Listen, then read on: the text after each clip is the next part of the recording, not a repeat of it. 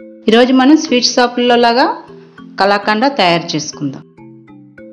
కావలసిన పదార్థాలు రెండు ప్యాకెట్లు పాలు ఒక స్పూన్ నెయ్యి నిమ్మకాయ జీడిపప్పు ఓ నాలుగు యాలకులు కప్పు పంచదార. రెండు ప్యాకెట్లు పాలు మరిగించుకోవాలి. నీళ్ళు వేయకుండా మరగబెట్టాలి. ఎలా మరుగుతున్న మరిగాక అలా కలుపుతూ ఉండాలి. రెండు ప్యాకెట్లు పాలు ఒక ప్యాకెట్ వచ్చినంత వరకు అలా కలుపుతూ ఉండాలి. లేదంటే ఈ చక్కెర పాలు వల్ల అడుగు అంటుకునే అవకాశం ఉంది.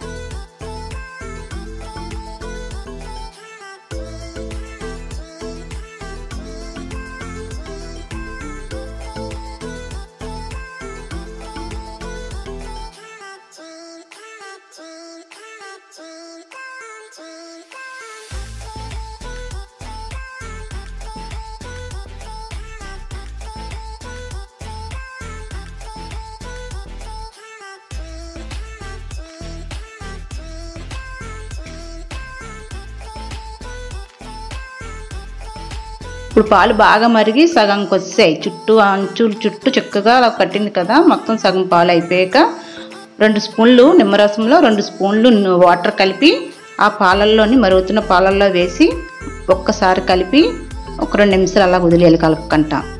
అప్పుడు ఆ పాలు విరిగిపోయినట్టుగా అవుతాయి.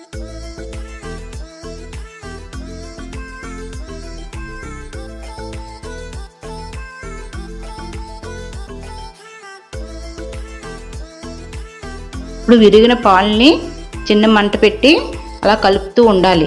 అడుగు మాడకంట కలుపుతూ ఉండాలి. దగ్గరికి అలా కలుపుతూ ఉంటే దగ్గరగా అవుతుంది. దగ్గరగా అయిన దాంట్లో చిన్న చిటుకుడు ఉప్పేసి ఒకసారి కలపాలి.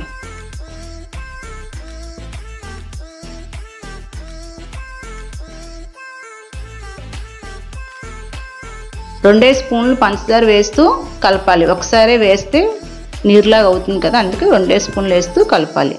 నేనైతే ఆరు స్పూన్లు పంచదార వేసాను. ఇంకా టేస్ట్ తీపి కావాలనుకున్న వాళ్ళు ఇంకా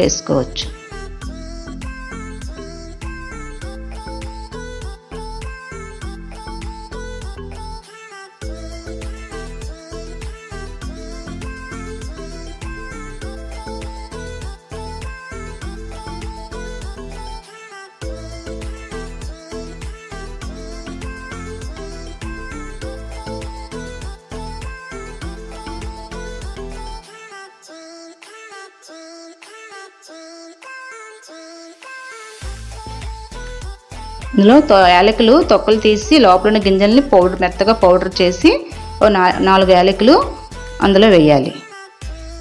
బాగా కలిపాక ఒక స్పూన్ నెయ్యి వేసి మొత్తం అంతా కలిసేటట్టుగా బాగా కలుపుకోవాలి.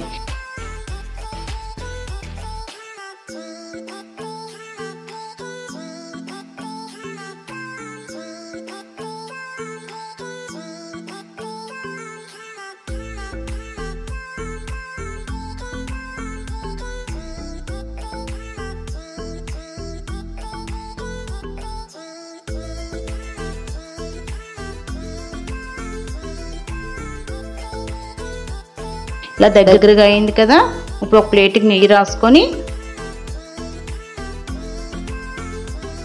ఈ కళాఖండ ముద్దంతా ప్లేట్లో వేసుకొని సాఫ్ట్గా చేసాక జీడిపప్పు అయినా బాదం పప్పు అయినా పైన పెట్టుకుంటే బాగుంటుంది.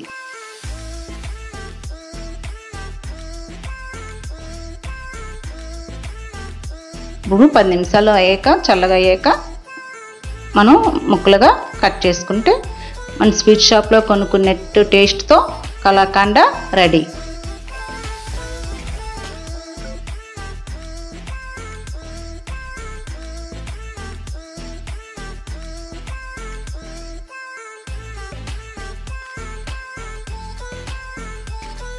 మీరు ఇలా ట్రై చేసి చూడండి. మీకు నచ్చినట్టయితే టేస్ట్ మాకు లైక్ చేయండి.